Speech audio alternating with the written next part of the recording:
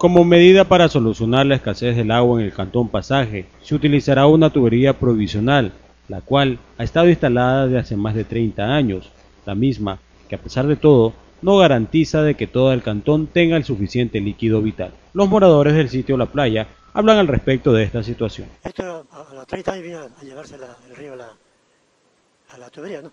Por, culpa de un error. No, pues no vaya de, la, lluvia nada.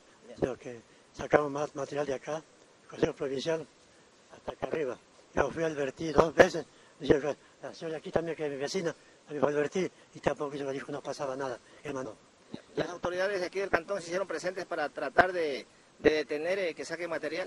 No, yo no, nunca. Yo me fui justamente a pasaje al municipio tres veces y no me tenían. Fui el día viernes, antes que se lleve, justo entraba un señor ahí, yo quise pasar, señor alcalde, que por favor lo autorice. A un carro entrando por aquí, corretelo, prohibir la entrada. Porque no somos, yo estoy sin luz, estoy sin agua y estoy sin teléfono, porque todo llevo el río. Estamos todas parte allá y señor que es la Quinta Piedad y yo que soy el propietario de la tierra de allí.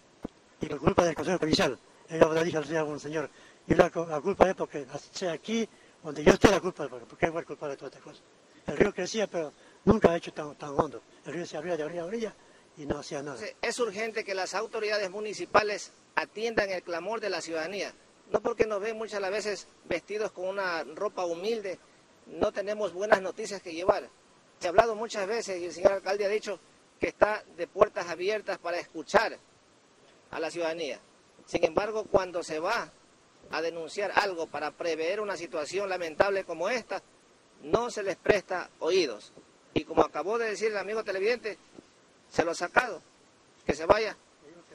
¿Qué le dijo? ¿Qué le dijo? No, ¿dónde va? Digo, voy a hablar con, el señor alcalde. No, no, si usted no puede entrar, el que solo puede entrar autorizado, nada más.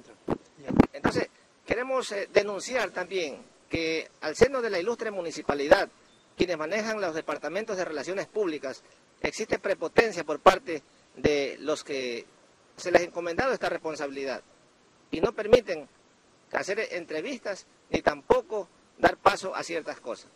Esperemos que tomen cartas en el asunto y remedien antes que sea demasiado tarde.